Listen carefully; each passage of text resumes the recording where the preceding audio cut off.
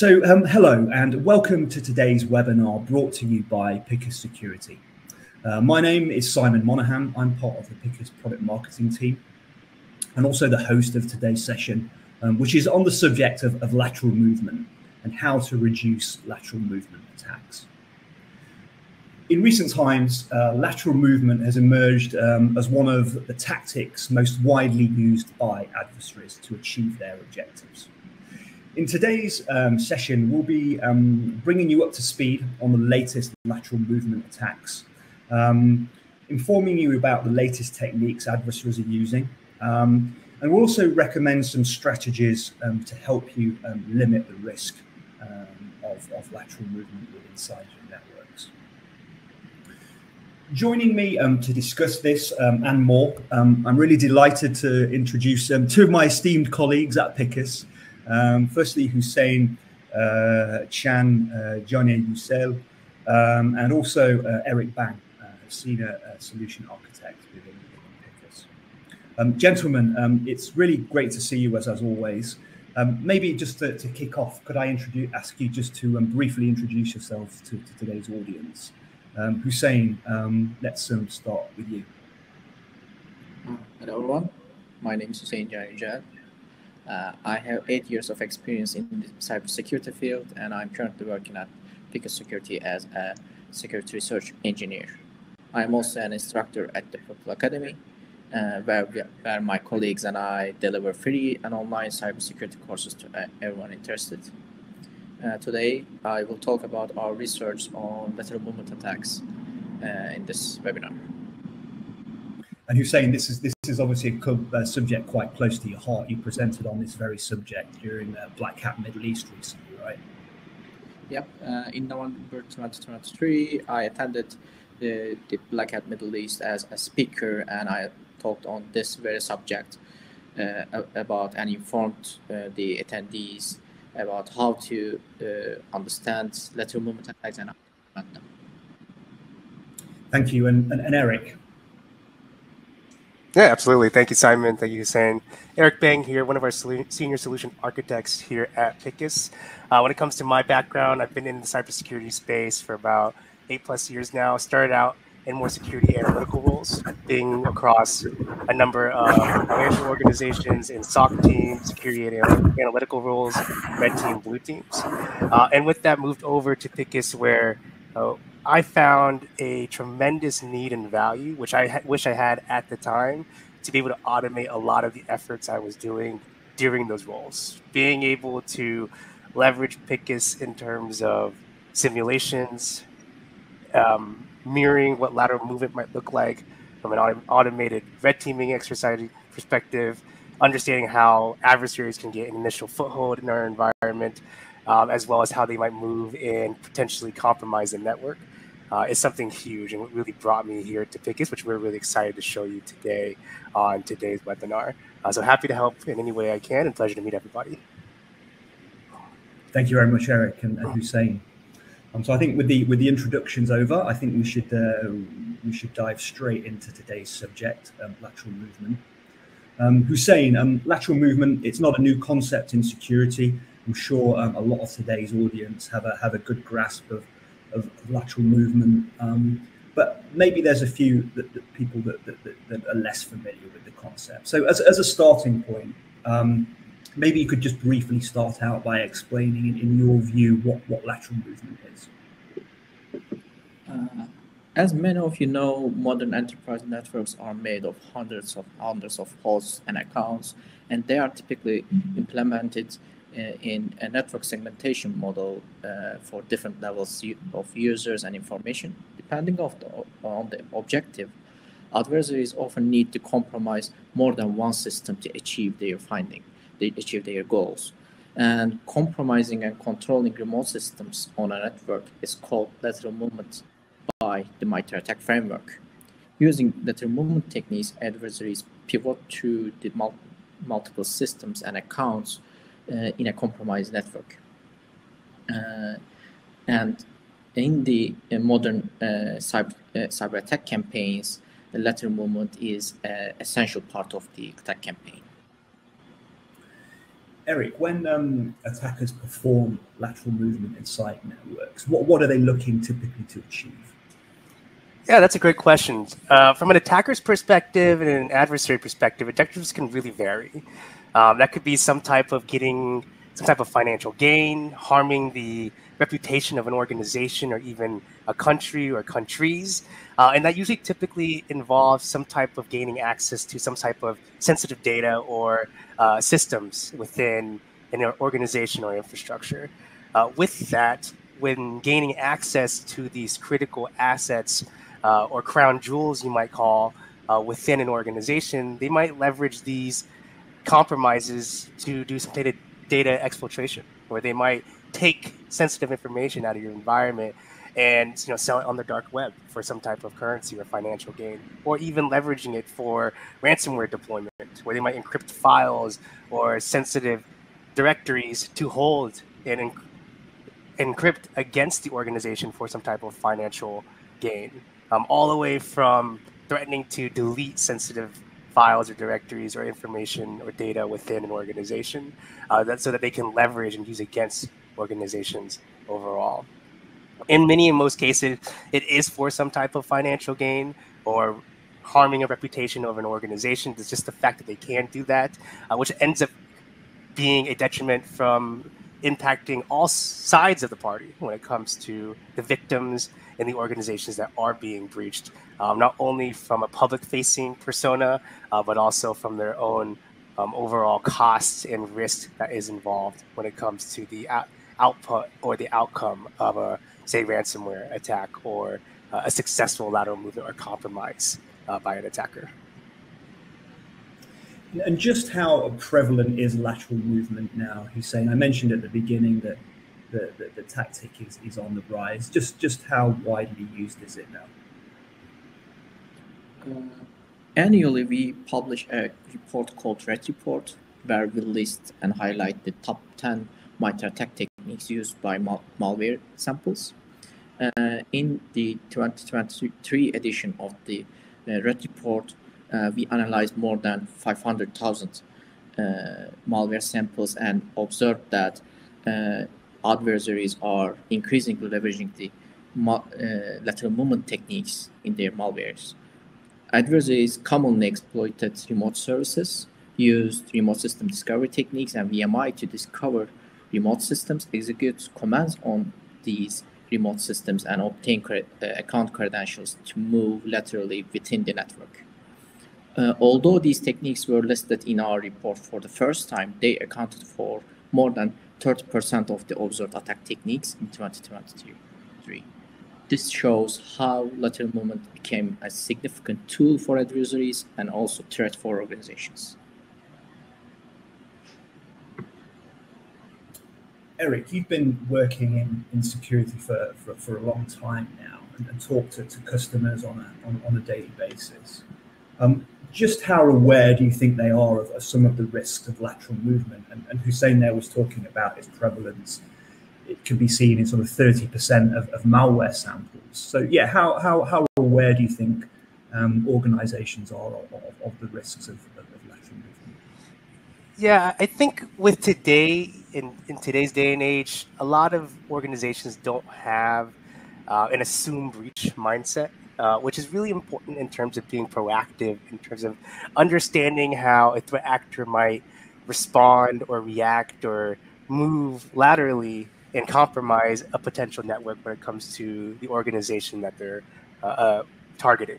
Uh, I think with that, I think it's very important to be able to plan for the worst and being able to be proactive before an actual day of a breach, uh, which is equally important from an external point of view, but also an internal point of view altogether. Um, with that, uh, you know, there's been stats where uh, 54% of uh, techniques and tactics that are executed during testing of lateral movements are missed. Uh, and many times, uh, there's been another study where 96% of lateral movement behaviors does not even trigger um, an alert in a SIEM, causing SOC teams to be completely blind uh, within their own environment when it comes to these adversary type behaviors. Uh, and it's really about not being reactive, but really being proactive at the end of the day. Being able to see and sit and be in the shoes of a threat actor, looking at from their lens and running these exercises in your own environment to really know what it would be like and know exactly how your team or your SOC or your blue team will actually respond when it comes to uh, a, a, worst case scenario, you know, breach day or that game day, uh, where where what what are we going to do when it comes to running playbooks or incident response exercises when it comes to these types of behaviors within our own environment. And I think that's critical uh, to today's day and age where we're just not practicing enough uh, in security when it comes to techniques such as lateral movement within your assumed breach mindset into your internal network.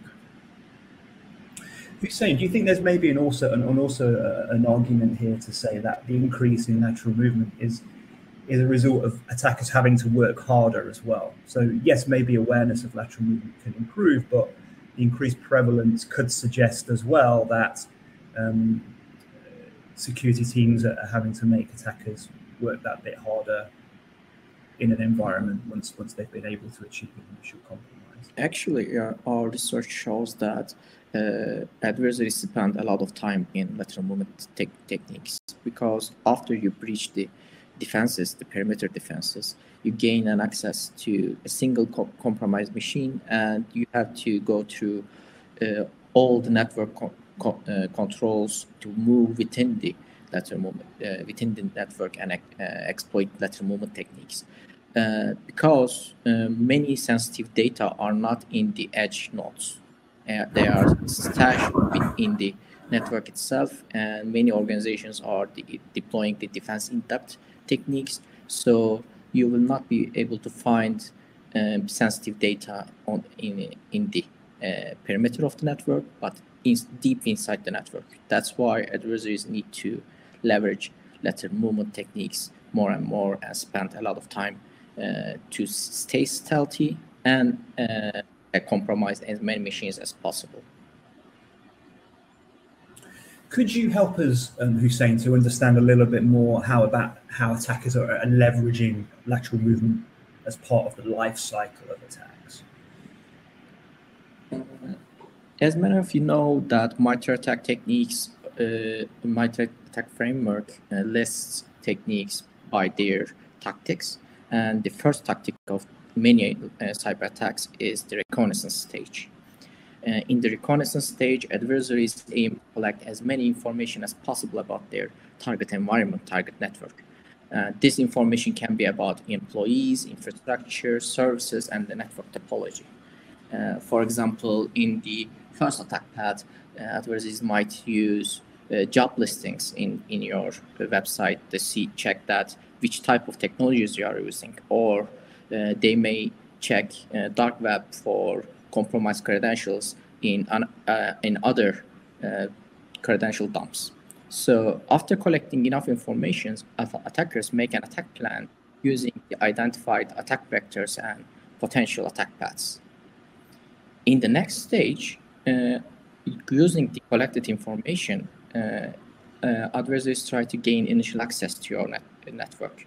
Uh, by exploiting the attack paths, adversaries create an entry point to the net target network and gain initial access. This step is vital for attack campaigns because it allows adversaries to execute commands in the victim's environment. However, compromising a single host is uh, on an enterprise level network is often not enough to cause significant impact. They need to move to other systems to gain uh, significant uh, access. Uh, that's why in the next stage, adversaries try to compromise other hosts in the network to achieve their goals. This stage is called lateral movement. In lateral movement stage, attackers aim to compromise as many hosts and users as possible without raising alerts. Compromising more machines in the target network potentially allows adversaries to cause more significant damage. However, as the rate of infection increases, the risk of being detected also increases. Therefore, adversaries need to be silent in their operations also. After the target network, yeah.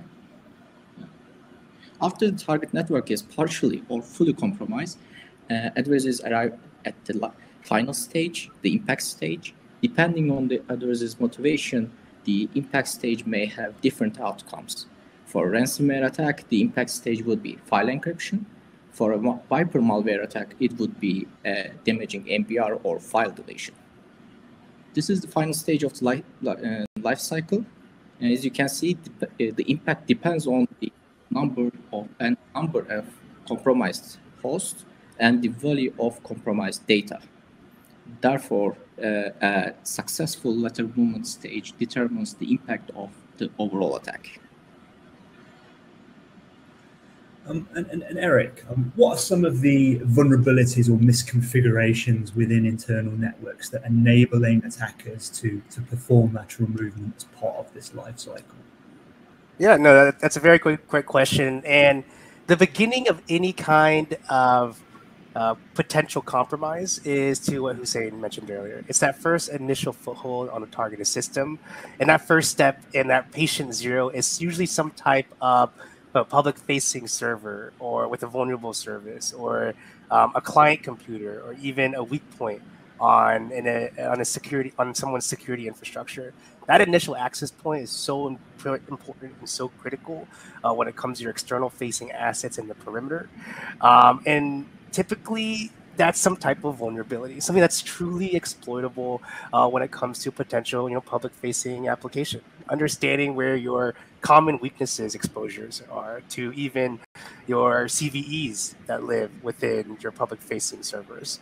Uh, I think those are really important to address at first, as Hussein mentioned. But then the second component is what kind of vulnerabilities or CVEs could be exploited uh, when it comes to misconfigurations into your internal network. What can happen post uh, that initial access or that initial foothold uh, within your internal network from the outside in? Once you're inside the network, what else can they do to compromise other systems? And some of those misconfigurations can be you know, excessive uh, user privileges, where someone's able to abuse a a user rights or privileges or permissions uh, to do more harm in the network. Uh, that could even fall under ina- inadequate or um, poor network part- uh, partitioning or segmentation. Being able to move from one domain to another or a trust domain uh, that's unnecessarily configured, um, all the way from abusing or exploiting uh, vulnerabilities uh, within your internal network, misabusing protocols like WMI or SMB or RDP, where you can remotely hijack sessions uh, from one system to another, to even leveraging valid accounts to gain unauthorized network access to different uh, assets or hosts uh, within the infrastructure uh, to essentially gain key- potential keys of the kingdoms where they can get a potential admin account across the network or a domain admin account that could then now allow them to do anything with the infra- infrastructure. Um, all of which are really important to address when it comes to abusing and exploiting many misconfigurations that can fall not only within vulnerabilities, but even policies that can be abused and, and, and um, exploited from an adversary perspective. Hussein, we know that, that breaches are, are an operational reality. Really, is, is the key here being able to um, restrict an attacker once they've been able to achieve initial access um, to really prevent uh, a, a, breach becoming a, a, real serious business impacting incident? Uh, in large networks, breaches might happen, and large organizations are, have uh, hundreds, maybe thousands of uh, users or hosts in their network. Uh, however, uh, breach doesn't mean the impact would be significantly more without uh, lateral movement. Impact of a cyber attack can be measured by the number of compromised systems and the uh, criticality of the compromised data. If adversaries were to be stopped before full compromising the network, the impact would be diminished significantly. Therefore, limiting the uh, adversary's movement in the network has a great chance to prevent a breach to become a major incident. In um, Hussein, in your example, you showed uh, two two um, types of, of, attack paths. Um, a question question for Eric. So, um, how many, or, maybe either of you actually, typically how many of these paths exist within within an organization. Given the complexity of, of IT environments, um, I'm expecting that there's probably quite a lot. Yeah, for simplicity's sake, I gave two uh, example attack paths, but uh, in a large network, uh, there are potentially uh, hundreds of uh, attack paths that can be exploited by adversaries. Although uh, not all hundreds of them are have have significant impact or potential to be exploited fully, defenders need to identify these attack paths uh, before adversaries do and prioritize them by their potential impact that would be uh, after they are compromised. So it's not necessarily just about always identifying every theoretical path. It's it's also uh, an element of validation to ensure that those paths actually could be exploited by an attacker in practice yeah, without uh, actual exploitation uh, or actual potential to be exploited, uh, all theoretical paths do not have the same impact uh, to the target network. They may they may exist theoretically, but in actuality, adversaries might not be be aware of that or might not be able to exploit it uh, when they got the chance. Um, so, so Eric, that begs the question: you know, what can organisations do to to identify paths and also um, validate which ones actually pose a risk? Yeah, great question. I think at the end of the day, detecting lateral movement attacks is hard and it's diff- difficult. Uh, just because it's really hard to differentiate between what's legitimate versus malicious network traffic when it comes to uh, user actions or a potential attacker or anomalous behavior. Um, as I mentioned earlier, uh, you know, 54% of techniques and tactics when it comes to executing lateral movements are missed. You know, 96% of those lateral movement behaviors don't even trigger an alert within a SIEM technology or a, log aggregation technology. Uh, I think with that, it's really important to practice, right? I think uh, if you have kids or you play sports, you know, we you we don't expect them to be. You don't expect to be the best where your kids to be the best on actual game day if you just throw them in there without any kind of practice. So why aren't we doing that in security? We should be practicing more frequently uh, when it comes to simulating potential lateral movements in our environment, um, conducting maybe more frequent pen testing in our environments, threat hunting exercises to even red team tabletop exercises uh, to know how well our teams will respond when it comes to our SOC, our blue team, and being able to do the proper triaging, incident response, or exercising any kind of playbooks that we would expect to come out of those outcomes and those types of behaviors. Uh, so being able to be able to identify what it would be like to be in the shoes of those threat actors, what would they would really do, or hypothetically do in our environment, and understanding where those paths are is that first step. And then obviously creating the right playbooks beyond that on how we want to react as a team and an organization to protect our assets post compromised in that assumed breach mindset. You mentioned uh, you mentioned some examples of approaches there, like pen testing, for helping to identify. Mm-hmm. Um, Hussein, there are also some dedicated tools to help with this, aren't there? Some of our audience might be familiar with attack path management tools like like Bloodhound, for instance. Um, can you tell us a little bit more about them and and what their approach to attack path management is. The attack path management tools uh, have two different categories. Uh, the first one is Bloodhound like uh, tools, Bloodhound and Infection Monkey comes to mind. Uh, they are much more like uh, spray and pray type of tools. They uh, try every available techniques under their tool set and generate lots of noise in the network, creating a lot of detection alerts. However, adversaries do not use these techniques because uh, when adversaries are detected, they are they have a high chance to be stopped, and they ha- have a high chance to be uh, prevented to cause a significant damage. That's why adversaries try to stay as silent as possible, uh, and they do not want to trigger defensive alerts. That's why Bloodhound uh, and Infection Monkey are great tools However, they generate a lot of noise and create a lot of detection alerts. That's not how adversaries conduct lateral movement attacks. Um, so, Eric, I guess this does beg the question about what can security teams do to to manage attack paths more more effectively.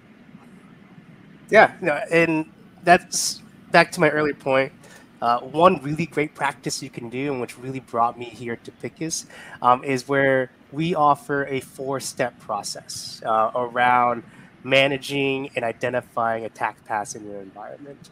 Uh, and that four steps include discovery, validation, prioritization, and optimization. The goal really is to identify one, all possible attack paths within your organization, and especially in determining what's that least path of resistance Hussein mentioned to prioritize mitigation of critical attack paths to target the crown jewels as quickly as possible, but also as subtly as possible without being identified in the network or discovered in the network by a, a defensive team.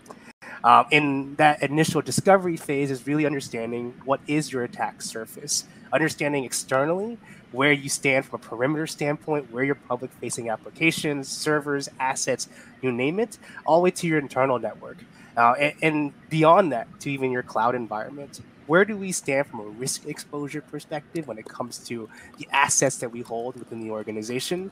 And then the second step is validating our security posture, having that hacker like threat mentality around uncovering your critical security gaps. What could potentially occur uh, when running lateral movement type techniques in your environment as if an actual adversary might do. Uh, and then as you validate, prioritizing those most critical attack paths to maximize your efficacy of your security infrastructure.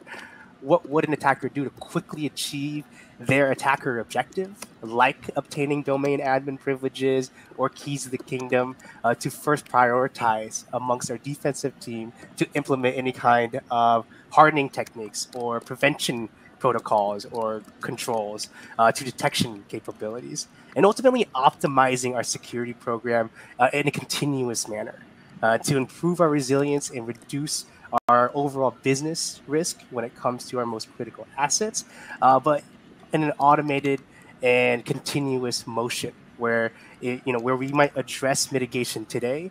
Are we still preventing and detecting as we would expect from our defensive teams uh, on an ongoing basis on a quarterly or weekly basis opposed to you know your more traditional once a year pen test that typically tar- you know take a level of overhead and cost and services beyond that, um, which is why we're really excited to show you what Picus has to offer in terms of uh, addressing lateral movement that assumed breach mindset.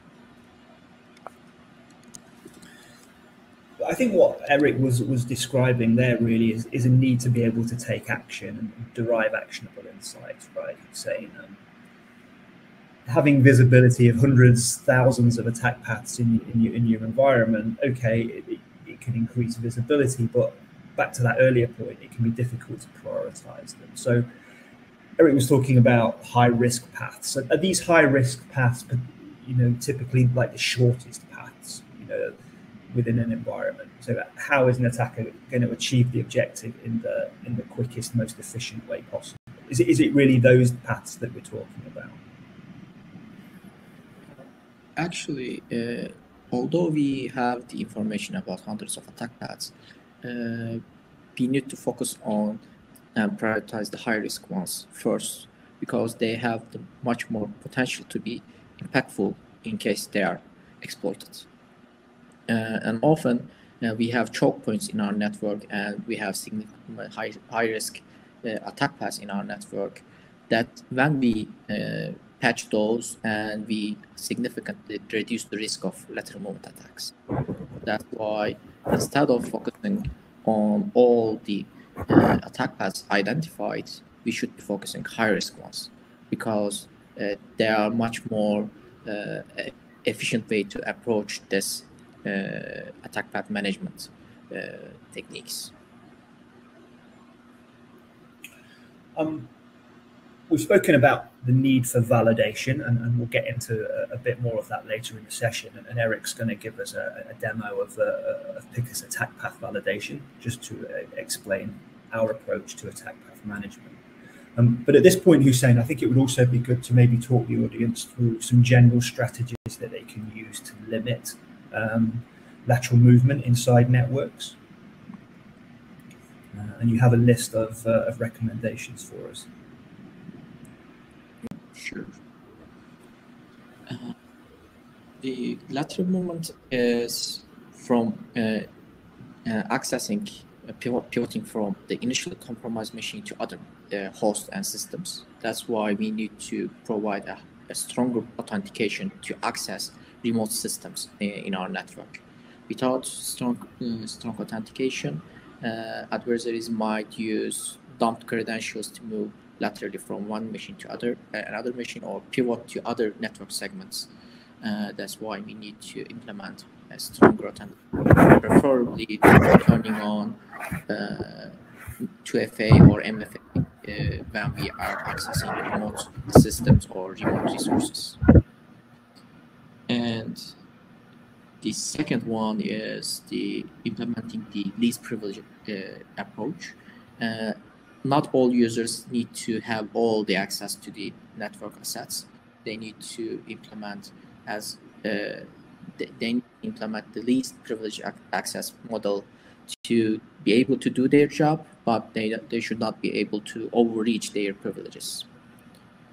And also, uh, similar to the attack life attack life cycle, when uh, adversaries trying to conduct lateral movement attacks, they are also doing reconnaissance within the network uh, and trying to uh, compromise any vulnerable system or vulnerable uh, software application within the network. That's why we need to implement patch management for our perimeter network and also inside the uh, network and in, uh, internal assets also. That's uh, that in this way we are reducing the attack surface that can be exploited in the network and limiting the options that adversaries can uh, exploit for lateral movements. And also, uh, as our networks are growing day by day, the security validation should be continuous uh, and consistent throughout our network because as we are growing, uh, as our network grows, uh, the security validation needs are all, always on uh, always will be needed uh, as we are growing and the continuous efforts needs to be paid for the uh, security validation efforts also. Hussein, um, thank you. Um, Eric, let's uh, let's uh, pick up on, on, on the last point again around uh, security validation. Um, and, and, and, and in the list here it says consistent security validation. How how important is consistency? So how how regularly should organizations be looking to to identify and validate attack paths in their environments? Yeah, huge. I mean, at the end of the day, how many times do you hear about zero days and new vulnerabilities and CVEs that come up to surface? Uh, I think with that, you know, we aren't practicing enough. I think in a traditional mindset where before we leaned on, you know, perhaps a once a year pen test. Uh, in, and with those type of engagements, uh, they happen only once a year. What do you do after you get the results or that report and you start implementing mitigation? How do you know for certain the next time you have a pen test or those vulnerabilities that might have been identified are remediated properly? You're now set, you're now subjected to a static time period within that pen test where now you have to wait a you know, six to 12 month period before validating the ability of remediation and mitigation. So being able to do this as frequently as possible is, is critical, where we can start to practice on a much more ongoing basis. Whereas we understand new zero days come out on a weekly basis, how are we making sure that we're addressing old, perhaps security gaps within our environment, uh, but also new security gaps that might emerge uh, to the surface in today's threat landscape. Uh, I think with that, the more the merrier is really the mentality there. Um, as threat actors don't rest or sleep. You know, they're, they're always finding new and, and creative ways to traverse and bypass and uh, be as subtle as possible when it comes to um, you know prevention controls such as EDR technologies that might sit within your security stack. Uh, I think being able to continuously run that motion of practicing on a weekly, monthly, quarterly basis as frequent as possible, it only best improves your security posture over time in that automated and continuous motion. Um, so I don't think there's any too much when it comes to practicing. I think the more practicing, the better you'll be uh, when it comes to your overall resilience uh, and preventing capabilities or detection capabilities to an adversary or potential breach to the organization. So, how can um, an attack simulation tool um, like the Picus platform and, and, our attack path validation product um, help organizations in, in this regard? Yeah, so being able to automate a lot of those efforts, as I mentioned, red teaming exercises, tabletop exercises, um, even pen testing capabilities, um, into a fully cloud SaaS solution that Picus provides in the form of attack path validation, being a solution that we offer here, uh, allows it to automate a lot of those red teaming efforts uh, being able to run these attack techniques of lateral movement, trying to do continuous credential dumping type techniques to even privilege escalation uh, to move from one aster or one host internally when it comes to obtaining uh, a potential crown jewel or domain admin privileges is, is critical.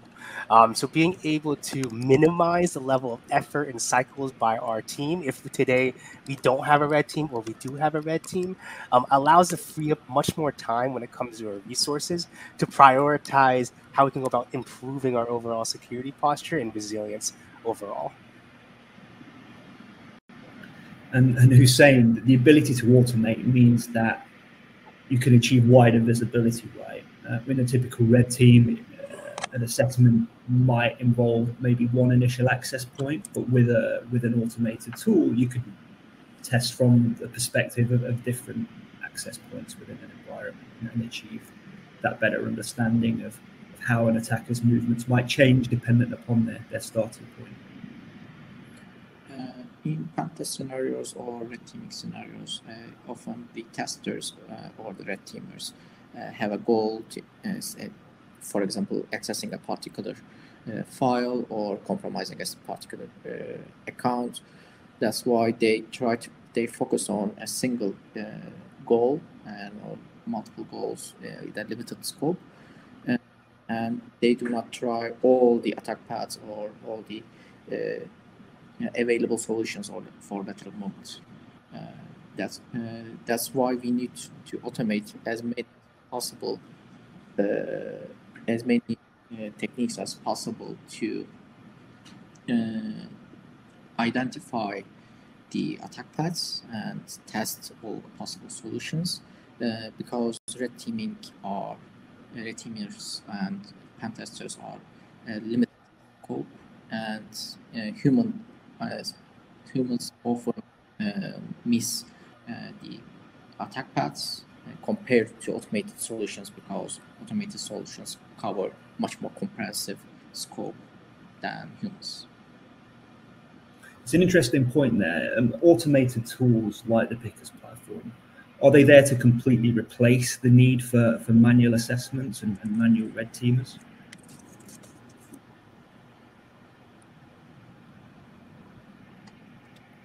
Hussein or Eric? Sorry. Maybe you could take this one, Eric. Can we repeat the question? Uh, yeah, you were talking about um, uh, about manual versus automated assessments, and I just wondered um, what your view is on on automated tools completely replacing manual manual assessments. Uh, actually, uh, we can automate many manual tasks using uh, automated tools. However, human ingenuity is still in play. Uh, we still need to do our regular pen testing, regular red teaming exercises.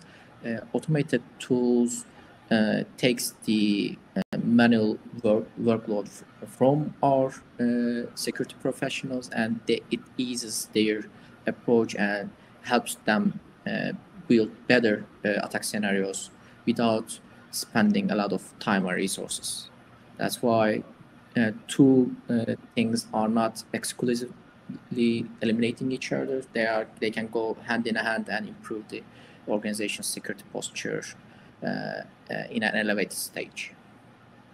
So on the contrary, automated tools are there to augment um, rather than, than, than replace. It's to help red teamers focus on maybe more sophisticated techniques or, or areas of the network that, that, um, that could involve more, more manual, um, manual assessment. Sure, uh, because in automate, uh, automated solutions often do not try to harm the system. They try to, uh, for example, uh, automated solutions should not be simulating DDoS attacks, but a red teamer can uh, uh, launch a DDoS attack in controlled environment However, if we were to do it, it in an automated system, it might uh, disrupt the business uh, operations uh, and daily operations in a network. Um, so, Eric, I think this is um, probably a good point, and um, maybe to give our audience a, a quick overview of, uh, of Picus attack path validation, just to show uh, how it works in a little bit more detail. Um, following the demonstration, and we will um, ask our audience to uh, submit their questions.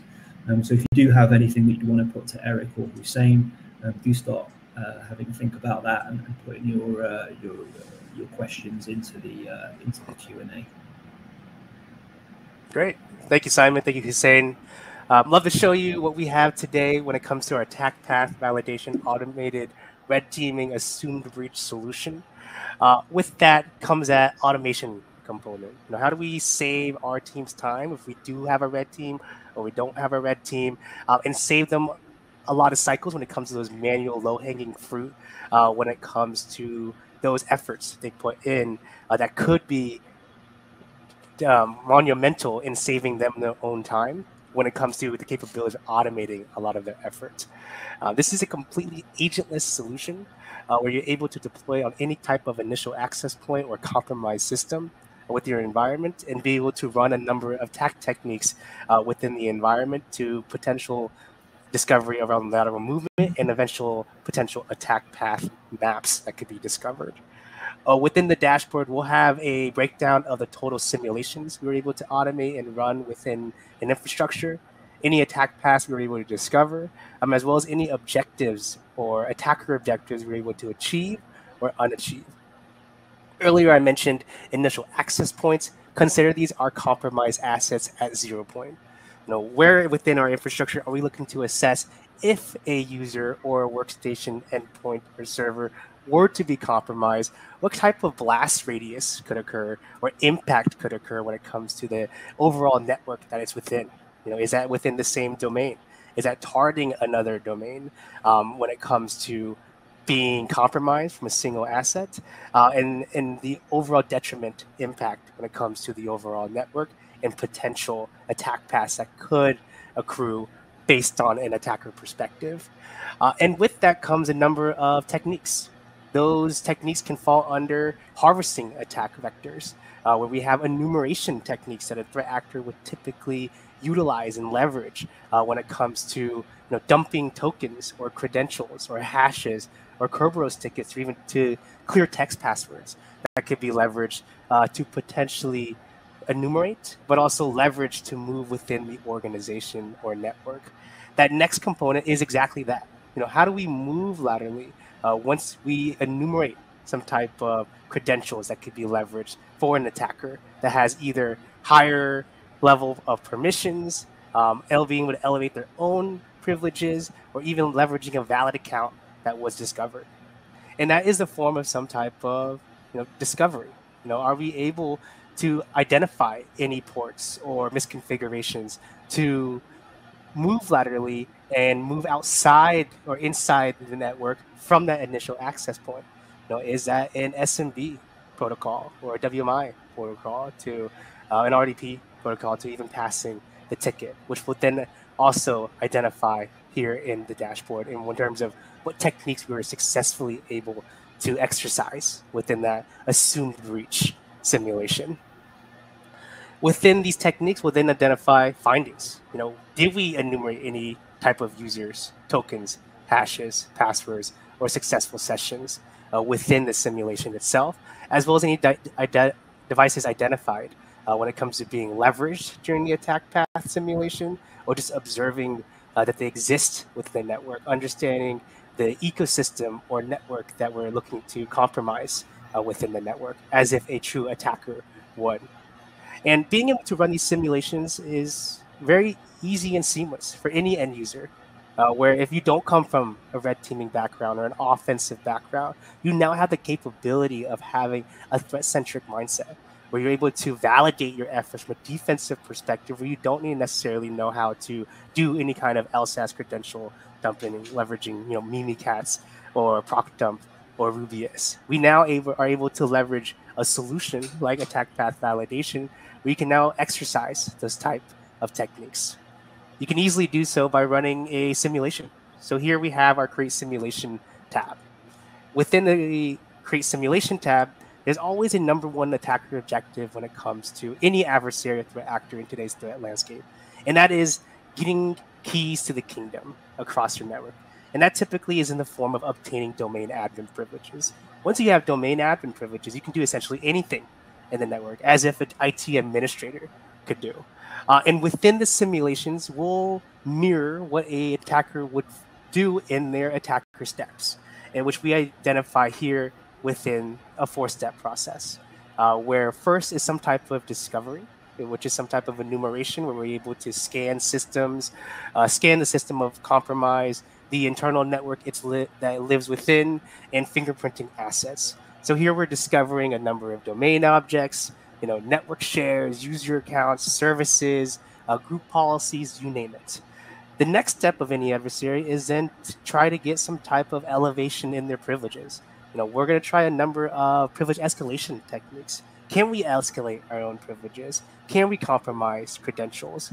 Uh, can we do some type of credential access as a attack tactic, where we leverage the harvesting groups to enumerate tokens or credentials or hashes or Kerberos tickets or even plain text, clear text passwords as mentioned. And as we start to obtain those permissions, either through valid accounts or your own privilege escalation, is then to move laterally and then attempt the same four step process to eventually gain the overall attacker objectives, but we'll eventually identify some type of misconfiguration or um, domain admin privileges that might fall within another asset, but which then is the ultimate goal of these simulations in any threat actor.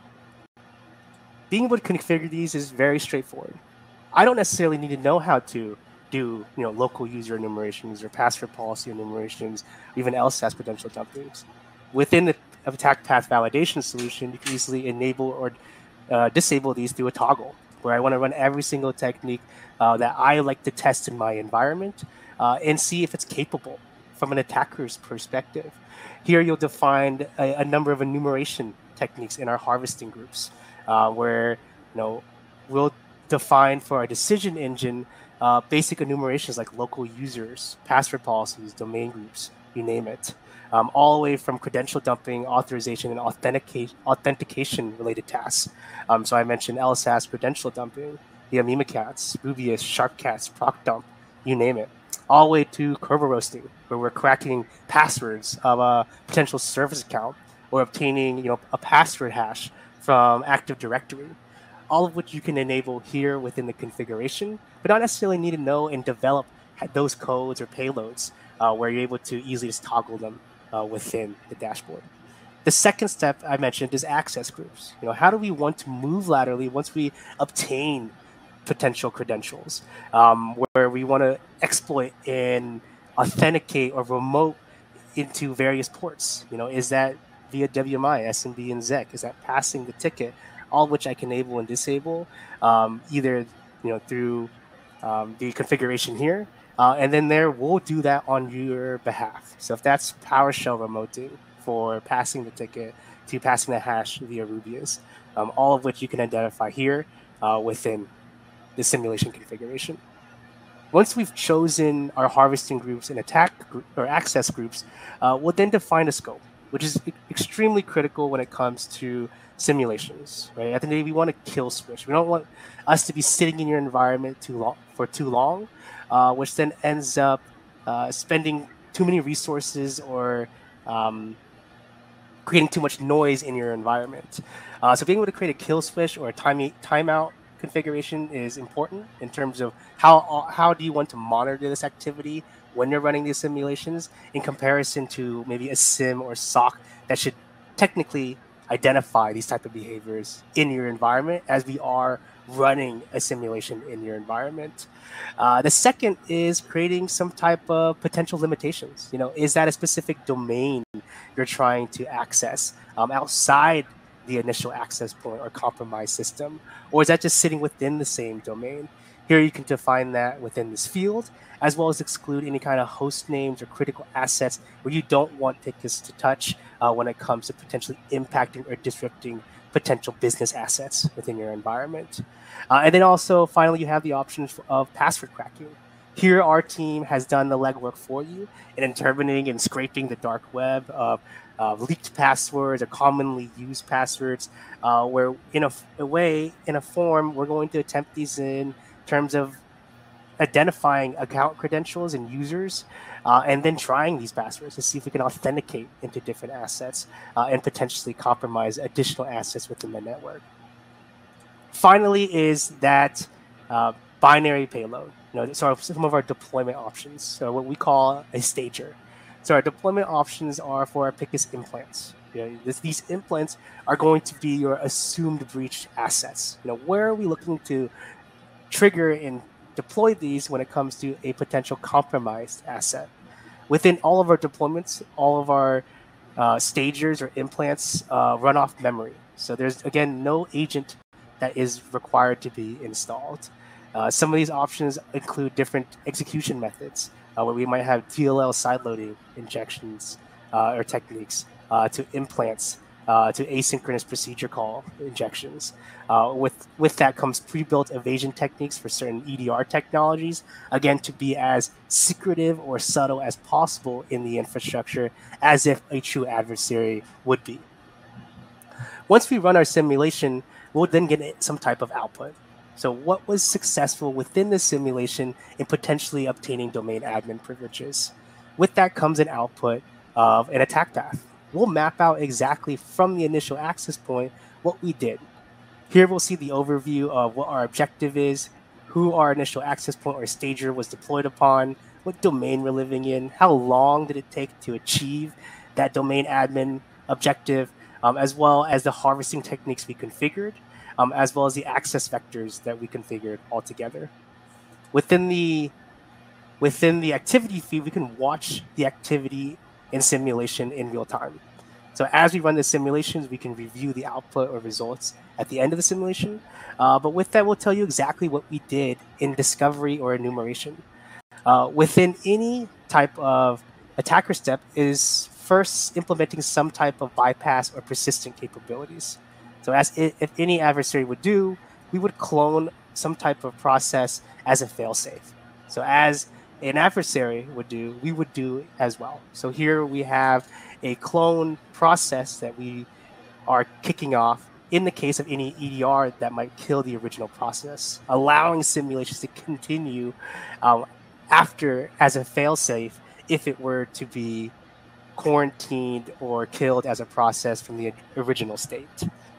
The second step is always some type of enumerations. An adversary or red team will always start a number of enumeration techniques uh, to then uh, understand the environment they're facing. So that might first look like some type of domain object enumeration.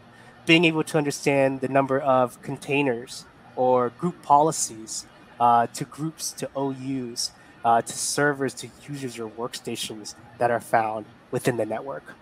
Some others can be domain group enumerations. You know, are there any kind of objects that can be successfully enumerated from groups to users uh, to even DNS uh, type um, enumeration, where we want to understand the Active Directory or math domains within an infrastructure.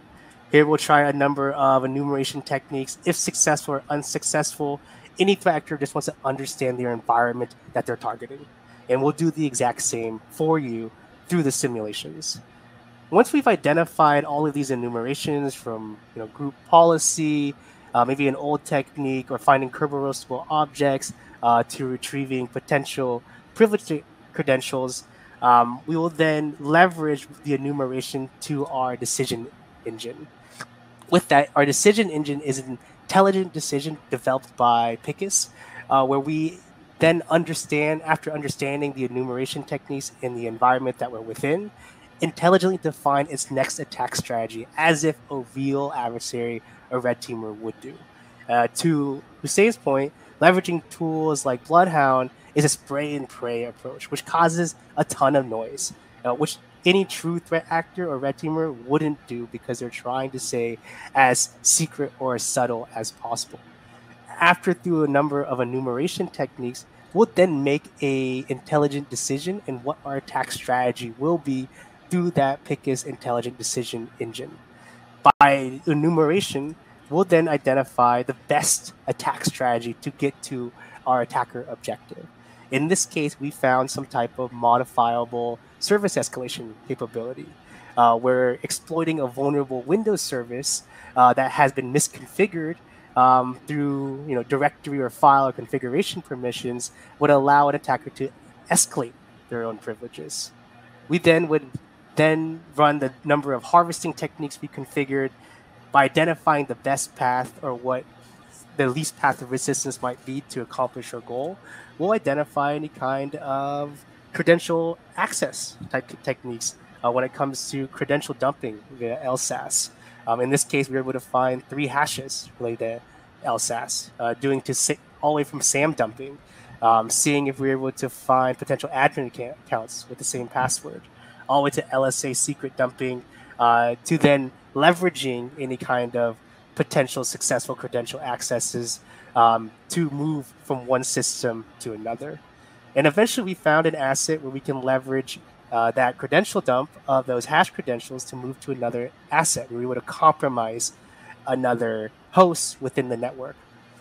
And again, we'll then run the same number of harvesting techniques or attack techniques or credential accesses uh, to privilege escalations to eventually determine some type of attack path to accomplish our objective. And again, that is obtaining domain admin privileges. Once we are able to successfully achieve that attacker objectives, we'll then show you the quickest path to achieve that attacker objectives.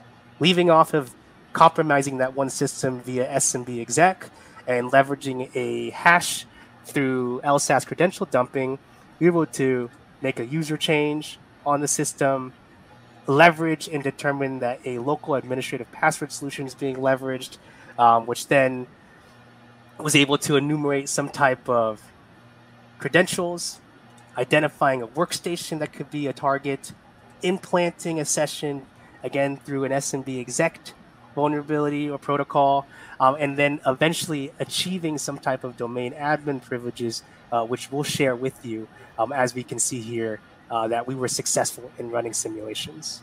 The best part yet is we're not just here to show you the problems. We want to give you the answers on how to mitigate these individual successful attack techniques uh, when it comes to achieving the overall attacker objectives.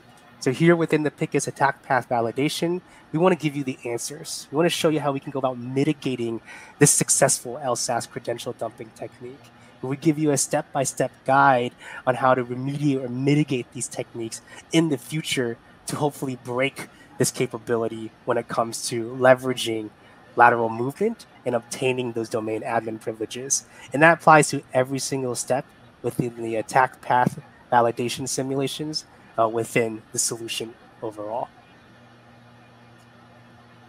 Great. Thank you very much for the overview, Eric. That was mm-hmm. that was really great. And I think just to to echo what you said at the end there, it's about the ability to take action to eliminate those paths, isn't it? It's not just uh-huh. about identifying them. A lot of security teams struggle um, with the results of pen testing, for instance, because it's not very actionable. They don't know what to do next to be able to uh, remediate or mitigate some of the vulnerabilities and misconfigurations in their network. So at Picus, yeah, we really help you to not just identify but also address those attack paths with, with those mitigation um, recommendations. Um, I'm, I'm, conscious that we, we are at the top of the hour, um, and I want to just leave in a few more minutes for, for questions at the end. Uh, really appreciate everybody in our audience for, for, for, staying with us to, to this point. Um, we have had a few um, questions posed um, via the, the Q and A, um, so I'll um, I'll read um, a few of those out uh, out now. The first one uh, was uh, from from Cameron, and does the Picus solution propose prioritization of detected attack paths. Um, so you covered this a little bit in the demo, Eric, but would you just want to kind of reiterate the, the point here around kind of identifying the shortest paths?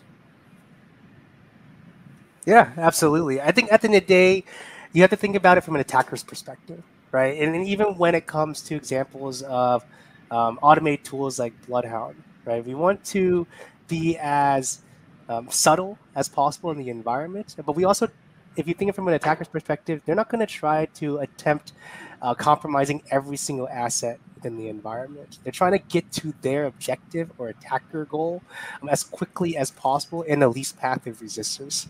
Um, at the end of the day, we're all human, right? Even when it comes to hackers or APT groups or ransomware gangs that might be out there in today's threat landscape, they're not looking to create a bunch of noise, nor are they looking to spend a lot of cycles or effort uh, when it comes to breaching a potential um, infrastructure and compromising potential assets or, or harvesting credentials to obtaining domain admin privileges.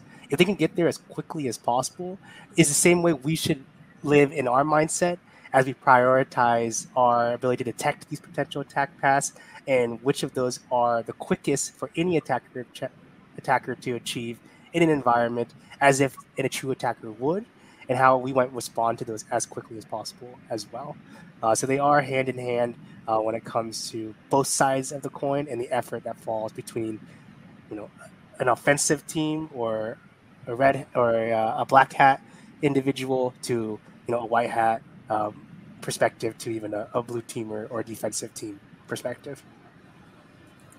I've um, got another one for you from uh, Tafik, um, who's asked, um, is it mandatory to run the APV simulation with a domain admin uh, user or domain admin privileges? Uh, actually, you do not need to uh, start with a domain admin user. You can uh, set the simulation for starting with an unprivileged user and discover uh, attack paths using that user or instruct the APV that you should uh, privilege escalation and then do the simulation and also start with an admin user. And all possibilities are on the table and you can use either three of them.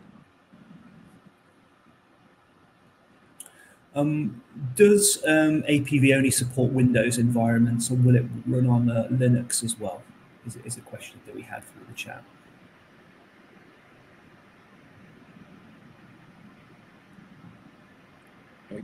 Eric, do you want to take that one? Um, as far as operating system support, um, Hussein, I, I, know we can definitely do Windows devices for uh, the executable as well as the um, ability to run off memory. Uh, can you provide some insight if we can also support Linux devices as well as the initial access point when it comes to running the execution of the simulations? actually we are using a fileless approach. Uh, mm-hmm. We do not do, uh, insert and uh, uh deploy an agent for uh, the initial access machine uh, in APV, and also in a limited scope in SCV, we can do uh, lateral movements uh, uh, using Linux machines. But generally, the demand is coming from the Windows side. So often people are asking for for us to do the Active Directory attacks and lateral movement attacks in, in the Windows systems. So uh, compared to Windows, uh, we do Linux machines, but in, in Windows systems, we are much more capable. Thank you very much, gents. Um, so I think we're just about out of time. Um, apologies if we didn't get round to answering your question. Um, we'd be happy to to respond to you after the session. Um, alternatively, if there's a question that you think of, um, feel free to, to pose it. Get in touch with um, the Picus team. And we'd only be happy to help. Tell you a bit more about attack path management and lateral movement and how uh, how our solution can help to support your needs uh, in this area. as we've heard throughout today's session, um, lateral movement, it is an increasingly hot topic in security. Um, and I think among some of the key takeaways from this session really are this need to adopt more of an assumed breach mindset, to not just focus on security at perimeter, um, but really develop this mindset where you assume that a breach will occur at some point and really focus your effort also on, on limiting uh, any damage um, that an attacker could do once they have that initial access to your environment. And Hussein, um, during part of the sessions, shared some helpful tips um, to help you um, to uh, reduce uh, any, any, any impact of an attack in your, in your network. Um, just a final reminder before we go, um, feel free to check out the media tab. There are some more helpful resources in there for you to, to take away. Um, Hussein referenced the RED report and the findings around the most prevalent attack techniques used in the in the wild. And feel free to um, to take that report away with you and, and, have a look at that. There's also a, a, report on Active Directory security, which is something that we, have also touched upon. Um, all that remains to be said then is really to thank um, Eric and Hussein for their for their insights today. Um, really great discussion, guys. I'm sure we could have gone on much longer. Um, but uh, always good to talk.